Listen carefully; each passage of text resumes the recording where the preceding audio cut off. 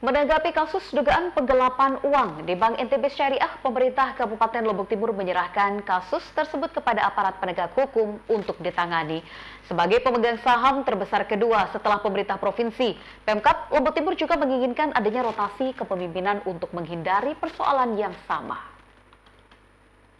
Menyikapi kasus dugaan penggelapan dana sebesar 10 miliar rupiah di Bank NTB Syariah sebagai pemegang saham terbesar kedua setelah pemerintah Provinsi Nusa Tenggara Barat, pemerintah Kabupaten Lombok Timur melalui Kepala Bagian Ekonomi M. Sapuan mengatakan menyerahkan sepenuhnya kasus tersebut untuk ditangani oleh aparat penegak hukum karena kasus tersebut merupakan kasus tindak pidana.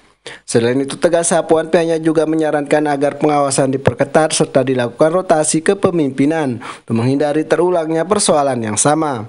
Dijelaskan Sapuan, ia juga berharap dengan adanya kasus ini dividen yang diterima pemerintah Kabupaten Lombok Timur tidak berkurang karena target tahun ini dividen yang diterima pemerintah Kabupaten Lombok Timur sebesar 14 miliar rupiah dari total jumlah 93 miliar lebih modal yang disertakan pemerintah Kabupaten Lombok Timur. Uh kejadian seperti itu berarti kan kita menunggu uh, uh, ini kan sudah masuk ke ranahnya PH kan ini. Yeah.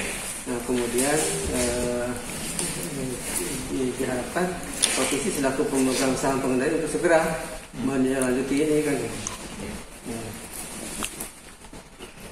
nah ke depan uh, peran tugas dari jajaran dinas untuk maksimalkan pengawasan di situ sehingga eh, pulau-pulau uh, itu tidak uh, terulang kembali. Seperti diketahui terungkap dugaan terjadinya penggelapan dana 10 miliar rupiah oleh oknum supervisor atau penyedia pelayanan non tunai Bank NTB Syariah. Rohaili, Lombok TV, Lombok Timur.